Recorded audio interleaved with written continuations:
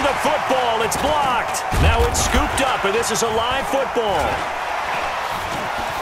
Accelerating, and off he goes. He's at the 30, 20, 10, and he's going to score. It's a Seahawk touchdown. In for the score as his guys are on the board first here tonight.